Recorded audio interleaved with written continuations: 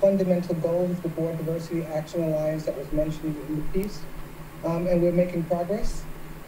Corporate America is making progress, but we have to make sure that this is not, you know, famous thing that I say from Hamilton, it's not a move, moment. We have to make sure that this is a movement that it keeps going, that we continue to hold seats, grow seats, that we grow Latin X directors because they're kind of falling a little bit behind, that we, et cetera, et cetera, et cetera, that we diversify uh, the boardroom and diversify the C-suite. One of the things that we looked at, I'm going to go a little bit off line, is because this all this data is for publicly traded companies. But if you look at um, PE firms and VC firms and look at their portfolio companies, boards of those companies, or the C-suites of those companies, I think that you will find that there is significantly less progress there. I'm actually, you'll find that there's no progress there. And so we have to we have to continue to look, continue to push.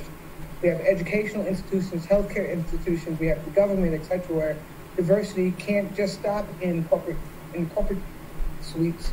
It has to uh, kind of expand across across America and hopefully across the world. What about black women in particular, Ursula? I, I, I don't think, uh, you know, your book was a real wake up call just how rare your path is for black women in America. What about the progress there, and, and why do you think that in particular has been so challenging? Um, so, yeah, your facts are right. I mean, it has been um, a paltry sum, paltry number. Uh, the, even the pipeline is paltry today. So it's a, there's a lot of work that has to be done for African American women or for black women anywhere in the world. Um, so we have to get to it. That's that's number one. The reason why the pipeline is so small is that we're a subset of the subset. Right? We're always a subset of the subset. So everybody focuses on women, they focus on white women. They focus on men, they focus on black men. We fit neither of those categories. Our needs, our circumstances are different from both. There's some commonality, but they're different from both. And most people just haven't gotten around to us yet. That's a, literally, they don't even think about us.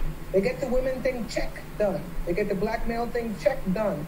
And someone raises their hand and says, you know, we have no female of X that looks like X. They go, oh my God, that's right. You're so right. So I think part of it is we fall between the cracks kind of literally in these two massive groups. The second reason is that the pipeline for us is, for the other areas, it's not as stark as it is for black women. The pipeline for us is um, thin.